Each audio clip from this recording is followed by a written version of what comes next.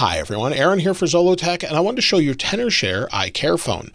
Many people ask me, how can I install updated information from one phone to another after it's already set up? And if you're using it through Apple's method, you actually have to wipe the phone to go from one to the other with all of your information in place. But if you use this application, you don't need to do that.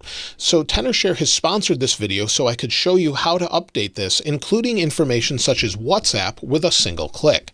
So this application has quite a few features, and I'm going to show them to you a little bit here. And you'll see that it says one-click export photos to PC. So that's something that you don't get with iTunes or the Finder. You can just click on it and you'll export your photos, or you've got your social app data transfer between devices. So I'll show you that in a moment. But now we can go to manage and then we can manage our phone. So let me first connect my iPhone. So we'll go ahead and connect this one and I'll connect both of them so we can transfer WhatsApp data. So we'll connect that one and then I'll connect the other.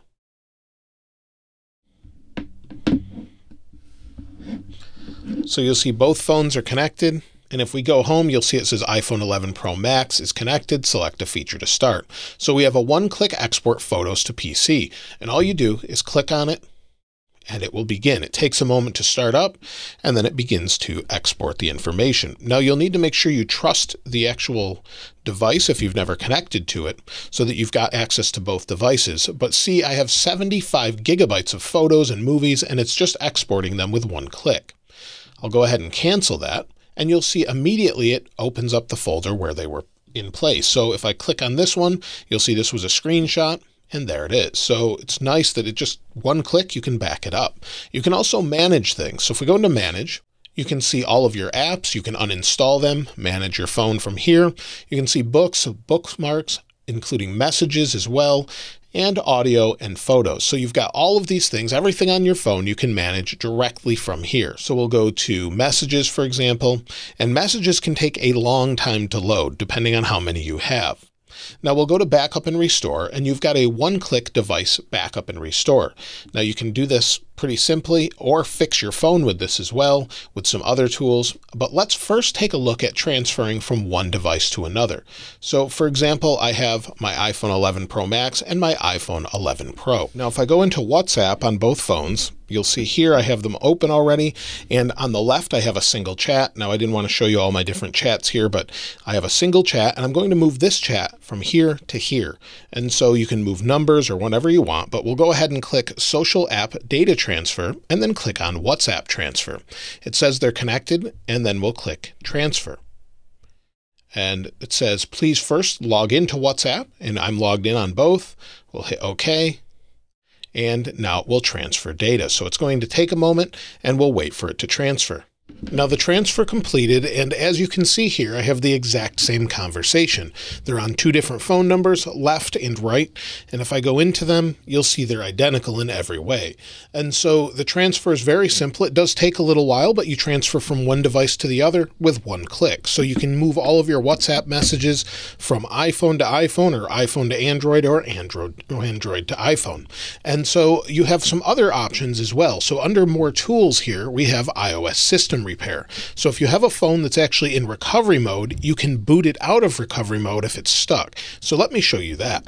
Now you can see I have an iPhone 6s Plus in recovery mode, and immediately iCareFone recognized it was in recovery mode and asks me if I want to exit recovery mode. So all I need to do is click on exit recovery mode. It says exiting recovery mode, please wait. We'll wait for it to reboot and it should be out of recovery mode. So if you're actually stuck in that mode, this should help you boot the phone out of that. And now you can see it's asking for my passcode and I'm out of recovery mode. So I'll go ahead and put in my passcode and now we're good to go. And it's asking me if I want to trust the computer. So I'll unplug it and now we have the option just to boot your phone out of recovery mode. Now I've reconnected my iPhone 11 Pro and we took a look at manage before, but if we go to backup and restore, we also have some options. So we can back up WhatsApp data. So if you don't want to sign in and back it up through WhatsApp itself, or you can do device backup and restore. And this allows me to select anything I want to back up. I can fully back it up and fully restore it even after the phone has been set up. So it's really easy to do. Select contacts or voicemail or notes and attachments, whatever you want. Click backup. It will take a while and then it's completed. Then you can completely restore it. So you have the option to do whatever you would like after the phone is set up and you have access to all of these different helpful tools. iCareFone is available for both Windows and Mac, and you have a free trial option as well to see if it works for you. So if you want to try out and see if it will restore or back up your data, you'll have the option to try it out.